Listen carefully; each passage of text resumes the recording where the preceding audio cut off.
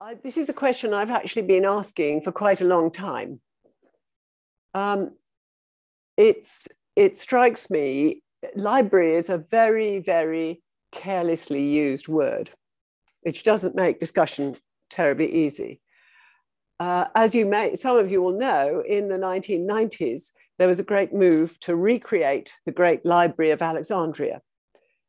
And they got terribly lots of money and expensive architects and they ended up with this structure.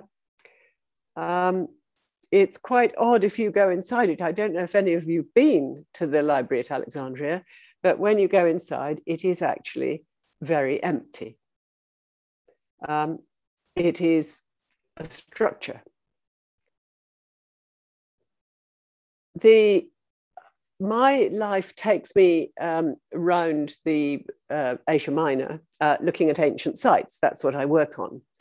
Um, lots of you, anyone who's been on, holo on holiday uh, to Ephesus, will have seen this.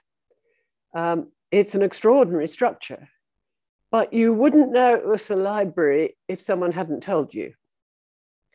Um, it's not perhaps the first image that comes into your mind when you think library.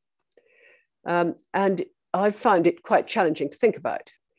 Back in the 80s and 90s, when people were constructing the first big digital resources, big collections, there was a nobody could really work out the collective noun.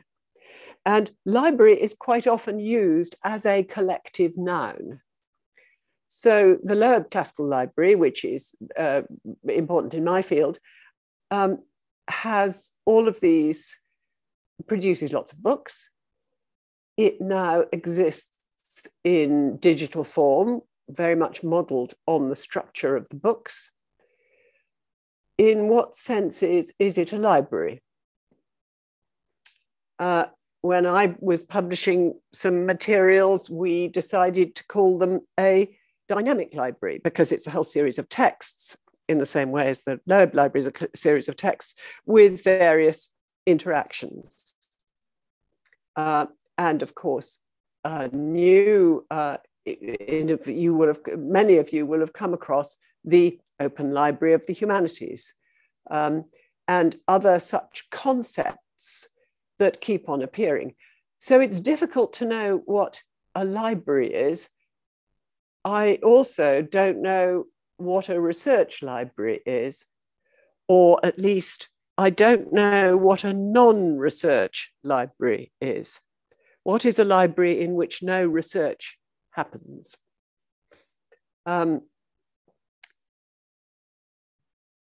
so, what perhaps we should define a library, therefore, by what it does, by, it, by its purpose, you can't define it by its building or its appearance. What are the functions of libraries? Now, pondering this, this is what I came up with conservation, study, access, and interconnection. I uh, work in Asia Minor. Here, uh, I, at the site I work at, Aphrodisias is there. Um, I showed you the library at Ephesus. I'll take you up the up the, the valley here. And I work on stones. That is, as a way of conserving documents, this is arguably the most uh, enduring and the least convenient. At least you don't have to shelve these. But working on inscribed texts on stone, and you start with something that has to be cleaned and looked after, I came across very early the fact that publishers don't particularly want to publish this sort of thing. And when they do so, they publish stuff like this at a price, which means that libraries don't want to purchase it. Um, and I'm sure you've all had those experiences. And it's for those very practical reasons that I became increasingly involved in online publication as a, as a, a practical necessity so stones are a very good means of conservation, but they're not what libraries do. If you look at the Library of Celsus, which I showed you before, inside, it's quite pokey. But there were, as far as we, there, there are these niches in the walls, and you can see it better at a nearby library built at about the same time.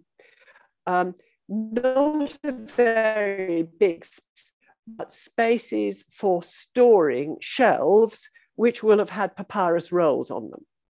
Uh, and there's another one. It's interesting that you get a burst of benefactors uh, building these structures in the early second century.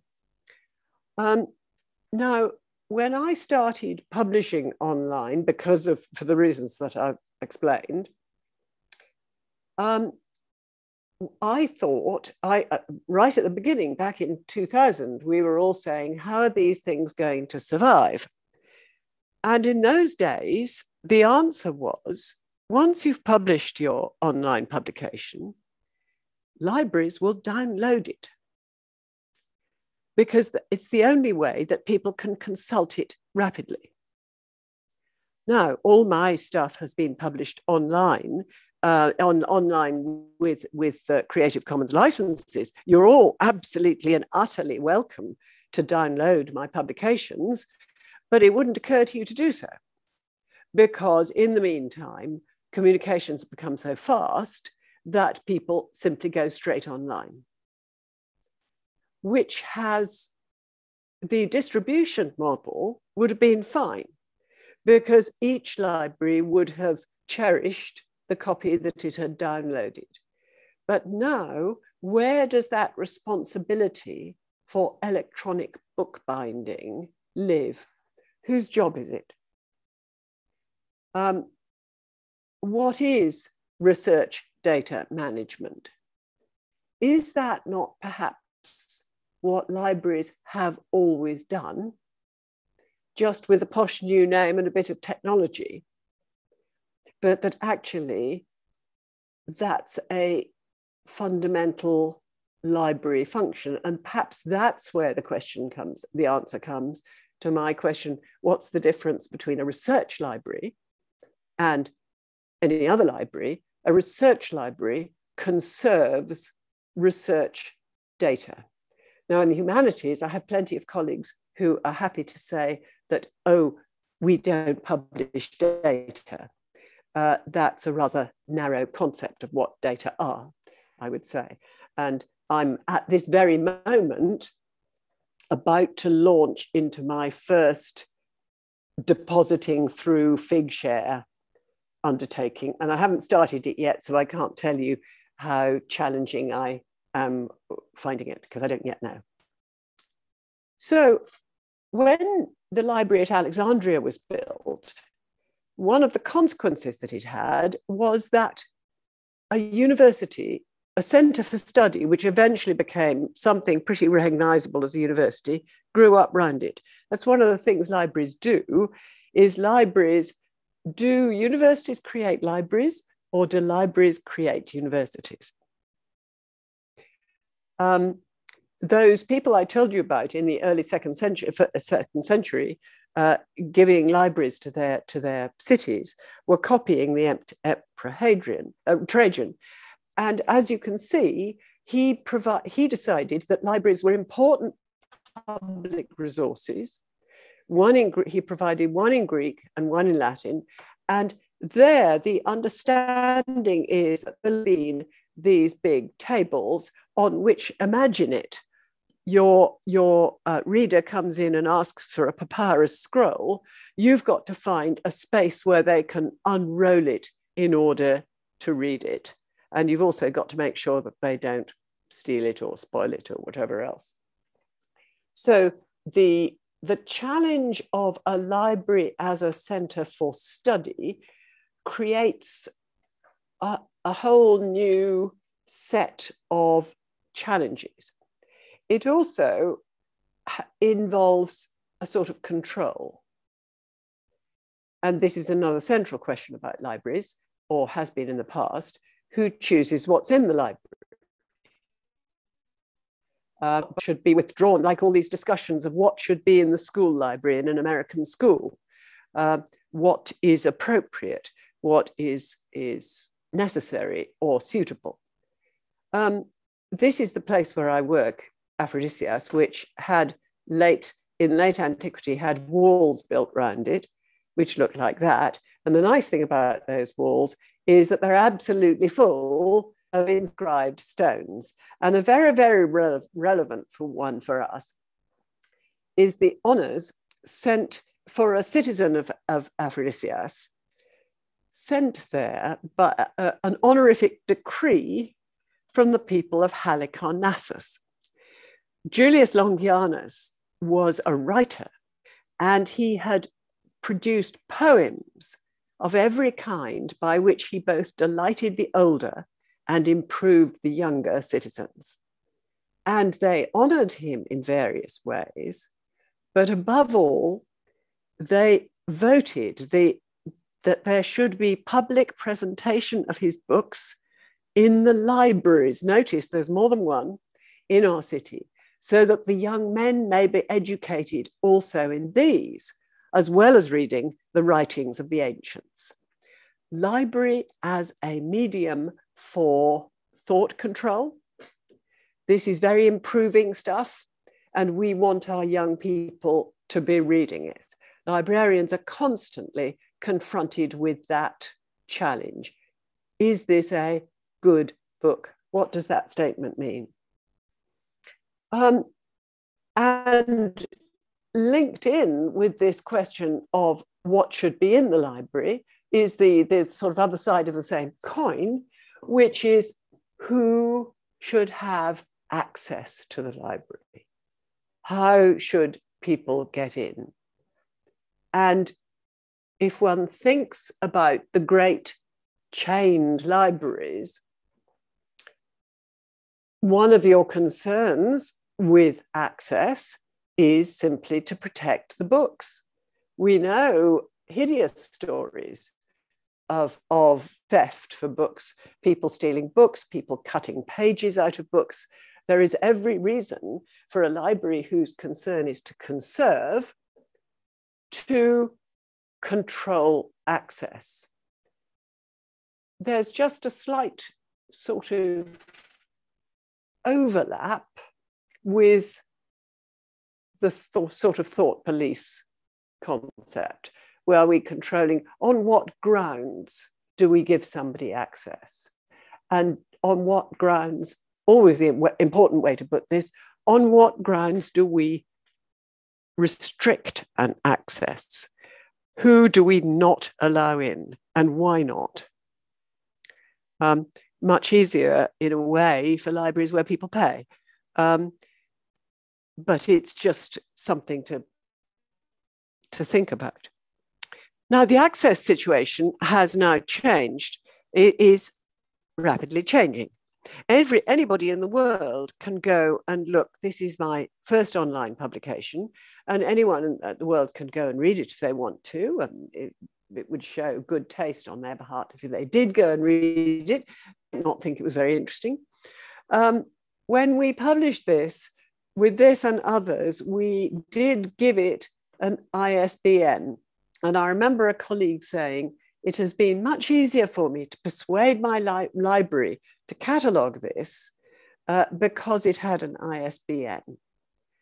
But library catalogues have been very inconsistent in the way, and theoretically, this publication could be in every library in the world or that is in every library catalogue in the world. And a lot of early cataloguing separated something called electronic resources from paper resources. I don't know how many libraries still do that, but it meant that in some catalogues, this, which is the version of the digital version, the digital second edition of a paper book, they're not always together on the library page. And that's a reminder that access is access is useless to you if you can't find what you're looking for. That the catalogue is door into the library. Um, and thinking hard about how to catalogue free, uh, open access resources is is an interesting question, I think, for research libraries. Again, the question surely has to be on what grounds would you exclude this item? And it becomes more and more of a question because every single day more things are appearing. There's just an endless stream of stuff coming out online. I just took this one randomly.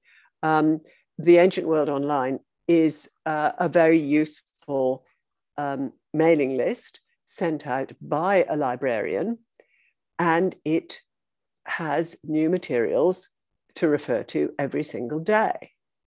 Um, how do we how do we deal with that? How do, how do we cope? As I say, how do we decide what to exclude? And that's related to the question of interconnection. Now, the classic interconnection for a library is putting a group of books on the same shelf. And there's no one who hasn't benefited from standing in front of a shelf, which they went to because there was a book they knew about, and find other books next to it, and being drawn into new ideas and different discussions because of shelving decisions which the librarian had made. And that is a crucial function.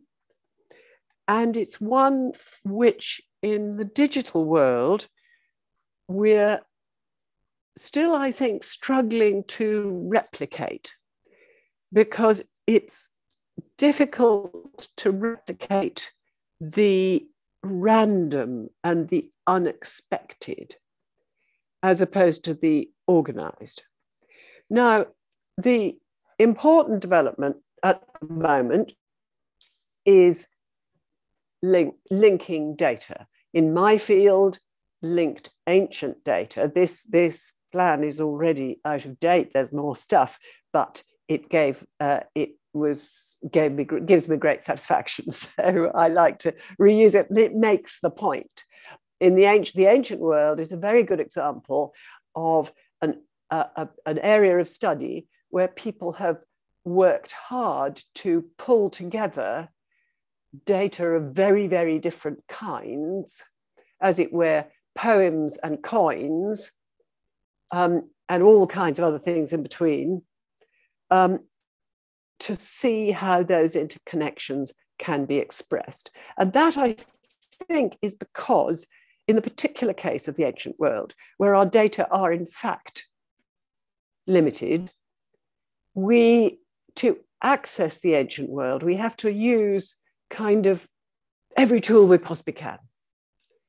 Um, and that I think has been a motor, a driver behind the very energetic uptake of linked open data approaches in ancient studies, um, but utterly replicable in other areas. And of course, behind it lies the founding concepts uh, of Berners-Lee. I think it's quite interesting if we're wondering one of the questions people ask nowadays is they say, why didn't you do X um, about something that happened only about 10 years ago? And the reason you didn't do X was because 10 years ago it wasn't possible. And I think it's quite interesting that this very famous uh, picture of the, of the, the linked open data mug, that he put this up in 2006, which is actually not a very long time ago. Um, and so it's taking time for these kinds of concepts to roll through. But it, if you, those still are links. I think that there is a huge amount that's going to be done that is going to lead to different kinds of linking and connecting. I think we're right at the beginning of all this. But the classic way to proceed still is, or used to be, that you go into the library and you say, I'm working on the, cult, the use of camels for transport in the Roman Empire. And you go, you used to go to the librarian. And the librarian would say, well, the most recent study is this, that, or the other. Or here's a place where you can look, which will tell you where the most recent study is. And the, the interconnection, there's going to be lots of automation of linking data, and there are, are going to be key hubs who are specialists. A nice example of a, of, of a bibliography in a special subject is uh, Zenon, which is again important in my field. Why is it so useful? Because it is a network of libraries. They're all the libraries of that. That's the network over on the on on on the side there. That's all the libraries, and what they have done is they have entered articles as well as monographs. So it's extremely useful. And it's a job that's only really doable because lots and lots of different people contributed to it. Um, and it's, a, it's an excellent uh, model of how to go, I think, and of the kind of, the kind of work that specialist librarians can do. Um, I use VIAF quite a lot. Um, it's uh, and it's wonderful. I was looking at these pages just because it reminds you of how much um, how much every single thing in a catalogue can vary, how much all cataloguing can vary, however consistent and virtuous everybody tries to be. Um, and I've certainly used it in my own bibliographies to give people something to hang on to uh, for disambiguation. So, what is a library? I would argue that the, the core elements of a library are a collection of securely conserved resources and a librarian or more, more than one, a librarian, uh, a team of librarians, but that actually a library in this sense, without the, the library is not a system that is going to be fully automated in every sense. Has to be that specialist specialist hubs constantly contributing, constantly picking up connections, constantly saying, well, actually, this relates to that. Because the linking of open data is not something that just happens. It's seeing connections, observing relationships, seeing, well, actually, there's a book in the Middle Ages which would be very useful to your study of camels in the Roman world that kind of looking out of the window and seeing what's there. And also, librarian as a specialist and a scholar. And that librarian will have two responsibilities, I think. One is for the conservation of resources in their own library, making sure that they are conserved. And if those are digital resources, making sure that they stay available. And at the same time, guiding their readers in the vast ocean of all the other stuff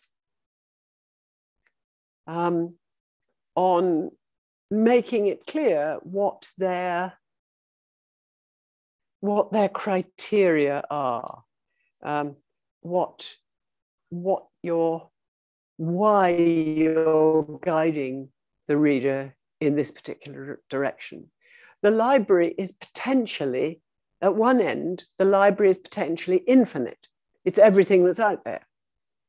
At the other end, it is the material for which, which you are conserving and your function as a librarian in guiding the people who turn to your library for guidance. I think that's how I would see it. I think um, this is the model. Uh, the librarian's guiding Dante through the uh, challenges of a, dist- a remote and sometimes frightening world. If that's the case, I have a question. It doesn't seem to me that the digital shift endangers libraries. It does seem to me that the digital shift has terrifying implications for academic publishers. Now, at the moment, we know that lots of academic publishers are making a very great deal of money, um, but that's out of digital publication. But I suspect that's partly because a lot of the services they provide were really quite difficult to provide as recently as 10 years ago. But all of this online publication and provision of data is becoming easier. You in your library are responsible for the conservation of the resources published from your university where does the publisher fit into that picture? What's the difference between the university library and the university press? Um, I suppose it's a difference of access in a way, isn't it? The press limit, but open access is blowing all of that apart. So one of the questions I'd like to ask you is what is the difference between a library and a publisher? What is a publisher? What does a publisher do? Or in 10 years' time, what will a publisher be doing uh, that is unique to them? I think that's a really interesting question, which it seems to me has been looming for a long time. Um, but we don't yet, we don't know yet how it's going to how it's going to evolve. But I would be very interested to know at the moment, you sometimes feel that what publishers are for is uh, uh, ruining libraries by producing more and more things at greater and greater expense. And it doesn't seem to me that that particular model is, is uh, uh, sustainable. Um, it became unsustainable in my field, which is an obscure this obscure field of Greek and Roman inscriptions quite early on. Um, there are other fields where bigger markets, which may you know keep it all going for longer, but it just seems to me that there's a real core question uh, for people to think about about what is it what is the process where on the process of creating knowledge and delivering it to people where in that journey do the publisher and the library sit? So uh, i'd like to leave you to think about that question because i'd really really like to know what you think and I did wonder, looking at this picture, we can see the noble librarian crowned in laurel. Uh, we can see the worried poet. I, it may be that the writhing figures are actually publishers, but that might be unfair. So I'll stop now uh, because I'd very much like to know what people think.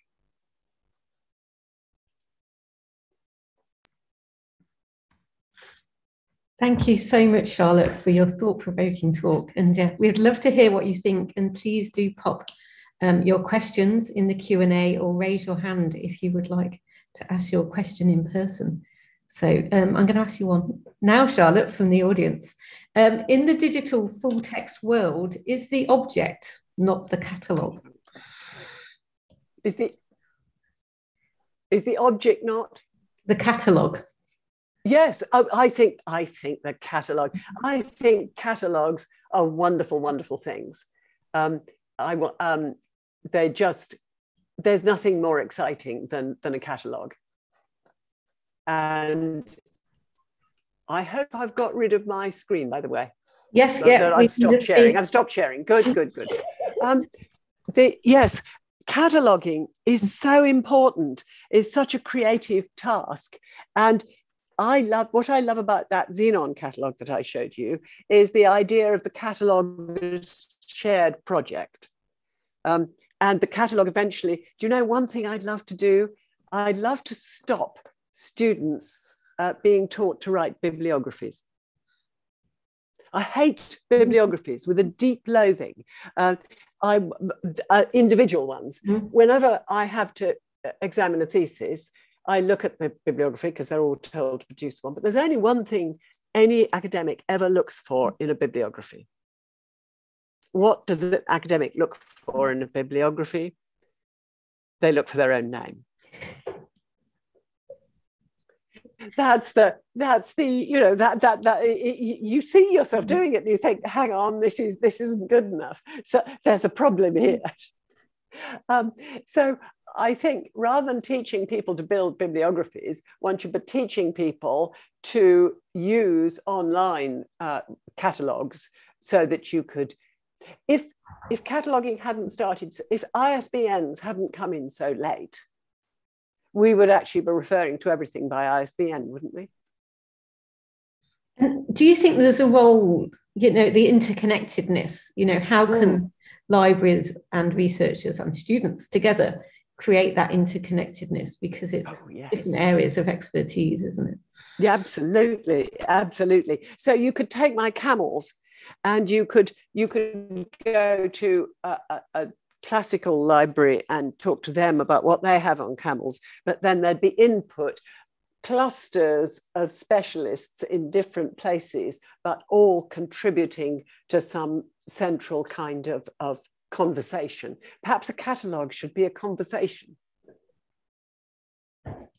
And uh, yeah, I've got another question here. Um, given what has been said about interconnections and the role of the librarian, do you think the concept of a collection or collections more widely needs to be redefined? Oh, absolutely. I, I, I, I find it this battle to find a collective noun appropriate a cluster of knowledge, which I suppose is what we're talking about. Um, using library to describe, for example, a, a, a, a series, a published series of books, it seemed to make great sense at the time. I, what interests me, I think, is making sure that we retain a sense of responsibility that a particular library is responsible for the care and cherishing of particular resources.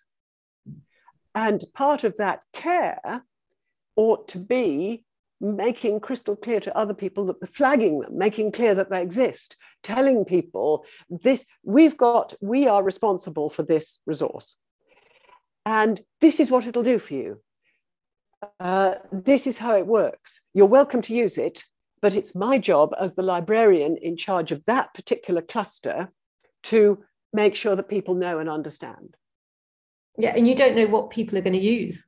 No, you don't. That is what's so exciting. Uh, one of the interesting mm. things about publishing online is that you can't, you know, it's like you can't use acronyms, as it were. I mean, we all protect our professions by having our own set of acronyms, which other people, and you hope that nobody else understands your acronyms because then that makes you and the the you, you put the stuff out there um, and you, I put online a Byzantine, an 11th century Byzantine text.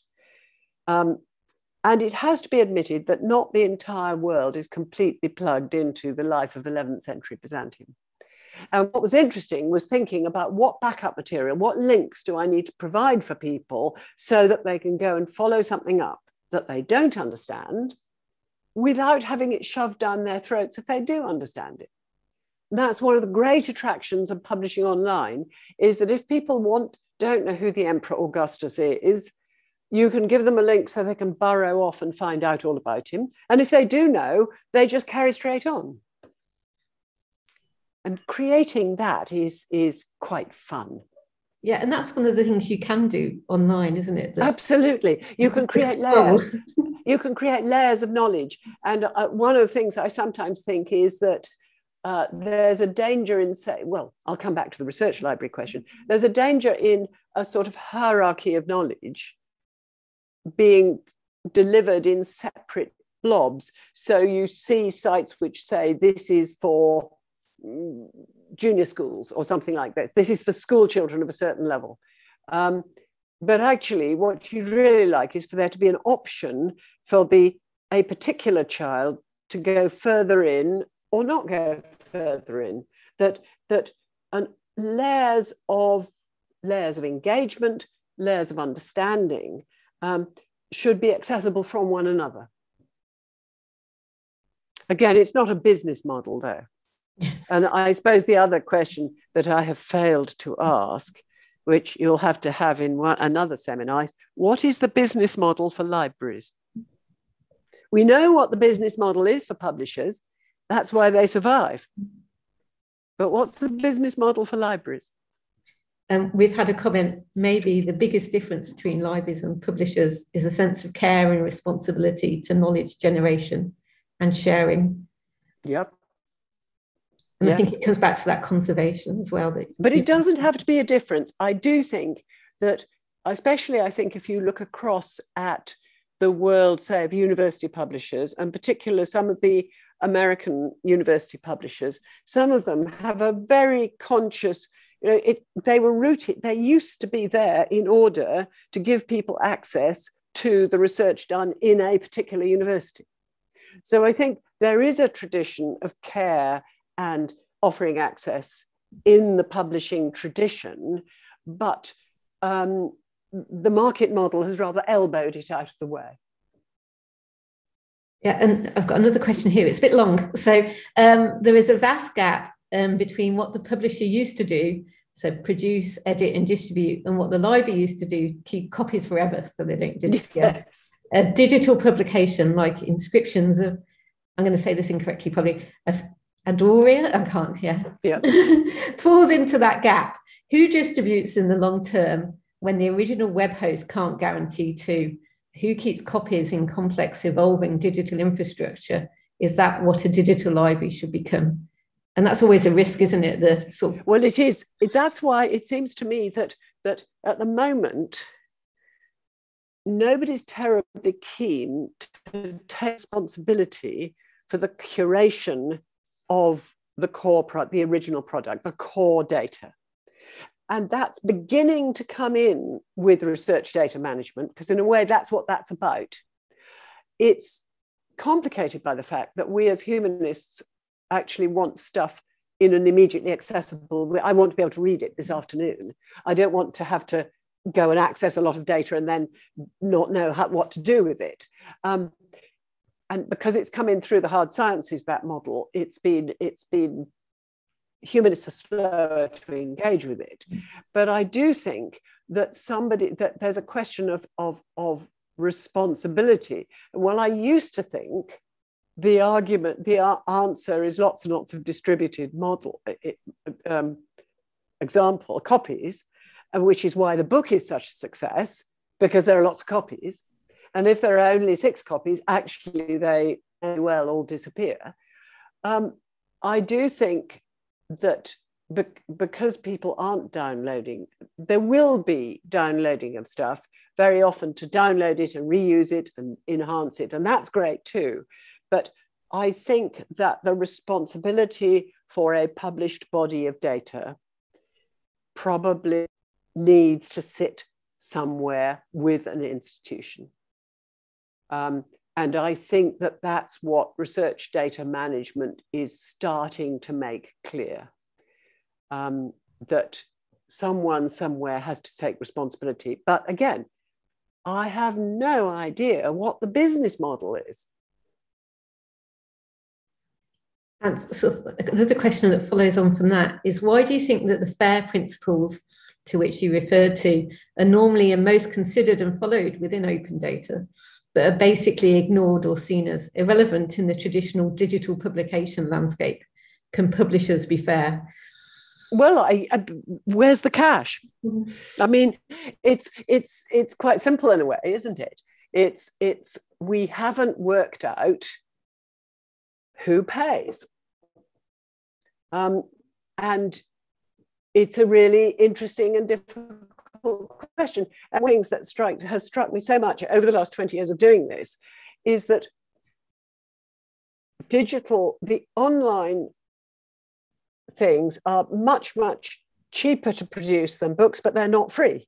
And there is a cost. It's not a huge cost, but it's a cost. And nobody knows where to put it. And I think probably that it falls to libraries. But again, I'm not absolutely sure what the business model for a library is, because after all, the Library at Alexandria was the proud product of a king who wanted his king, you know, wanted to be terribly famous, wanted to draw attention to himself. Um, it was, he wanted to demonstrate the Hellenic heritage of, of his dynasty. Um, you can't always uh, rely on that. So it, it, it I don't know, the, this strikes me as a question to which I do not know the answer. Um, I suppose in the end, we are all actually paid for by the taxpayer, aren't we? In fact. Um, and that's where libraries being more open and giving more access to citizens is a related issue. It's interesting that the online ODNB is available free to almost all public libraries. I think they have to sign up for something, but you can get it through your public library. And that just raised that just an interesting thought. Um, the how does a how does a you know is does a civilized modern society ensure like those people that I was telling you, but like all those people at the beginning of the first, second century, do they do they say libraries are an essential public good and somebody must pay for them. But that doesn't mean it's less clear that Elsevier is a public good. Um, that, you know, very expensive publishers, that's a different matter. That, that may be about, uh, they may have a business case. They may say, well, we employ lots of people, but I don't think they're a pub- necessarily a public good. And we've had another question in. So, responsibility for storing published content, national libraries and legal deposit could be part of the answer. Um, we do download digital copies and conserve it because digital content is also covered by legal deposit. And I think that pulls into, I oh, suppose, oh, yes. this sort of network, what we yes. do above the individual library and as a collective and a consortium. Well, I was quite interested when I published the first one I showed you in 2004, uh, the second electronic second edition of a published book. Um, I got in touch with the British Library and said, "What do I do about legal deposit?" And at that, in those, in 2004, everybody was running backwards very fast. Uh, nobody wanted. People weren't really very interested in it. Um, and in the end, we sent them. I think we sent them a CD that tells you about you know what the past was like. Um, that was how it seemed. Um, I we do the concept of legal deposit ought in a way to be the solution to all the research data management problems. Um, I mean, you just say, well, this stuff has to be deposited, uh, but of course, it creates it's an awful lot of hard work at the uh, for the deposit library to receive all these kinds of things. I haven't attempted to uh, deposit my later publications uh, I've not come across instructions as to how one does it, actually. Um, uh, yeah, does anyone know? Are there, are there, is there a request, a requirement from the deposit libraries? Not that I know of. Yeah, I think I can't speak for the British Library, but they do harvest the UK domains, and you can. They harvest, yes. Yeah. But but they don't say, oh, I don't write to them and say, oh, yesterday I published a new publication. There's no process that I know of. That would be a very good thing if there was, where I would say, look, I've just published this. Please harvest it. Yeah, I think there's definitely a way that you can request that they do harvest, and it may well be that they've harvested it already. Yes, yeah. And there was some, yes, um, Gabriel said, I'm sure they still have that CD. And I bet it's never been looked at by a user or copied onto a hard drive. Well, hopefully. I'm sure that's true. Oh, yeah. I'm sure um, that's true. And um, Chris has put the link oh, to yeah. the BL's legal oh, right. page. Thank you, Chris. Well, that's something I should do then, because mm-hmm. um, I'm just got an I've got another publication coming out, so I ought to uh, be looking into what my legal requirements are. Um, and yeah, and then we've got another question here. So, from your point of view as an experienced and successful scholar, would you be happy if the only publishers out there who could make your work accessible, findable, reusable, and preserved were libraries? I think, put another way, I just think it's quite likely that that is what will happen. You see, at the moment, uh, people think of these things. These are two kinds of entities who have the job of making things public. The library makes things public, the publisher makes things public. The sort of fundamental function is closely aligned. And they've simply emerged as different kinds of entities. And the publishers, I'll tell you what the biggest problem, eh, challenge is about publishing open access online. What do you not get? you don't get any publicity.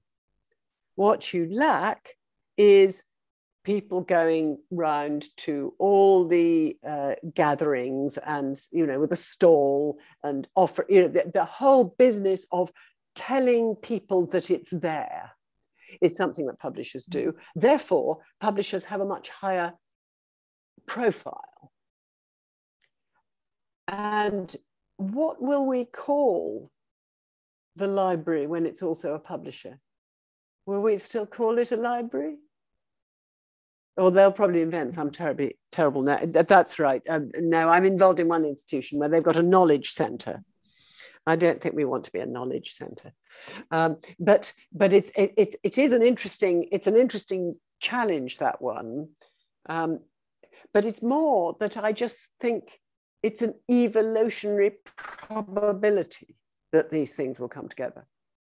And it'll, like everything one forecasts, it'll take infinitely longer and be infinitely more painful than one would hope.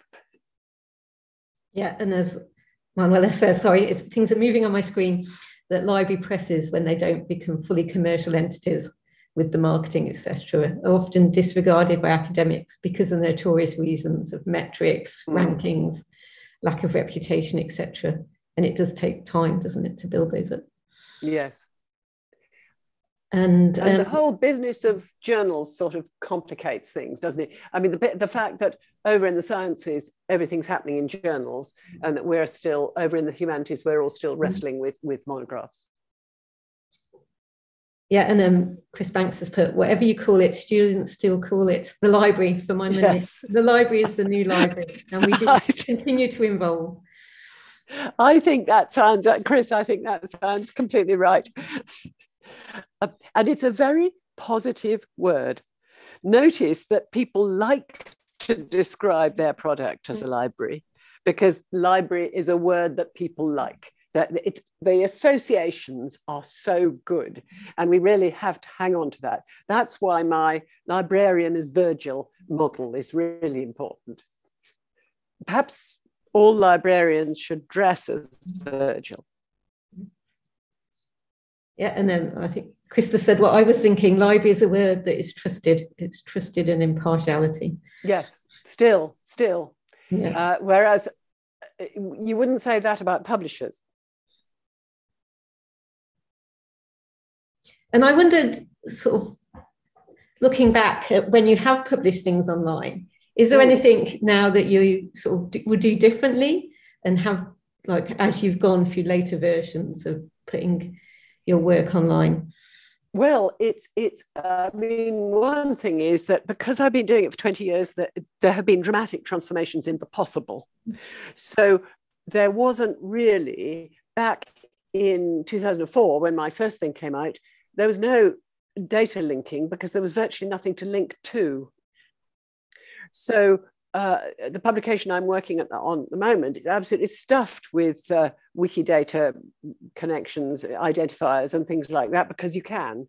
Um, so I would have been glad to, to be able to embed things more. I think the next big thing, I mean, one of the things that interests me a lot is the multilingual.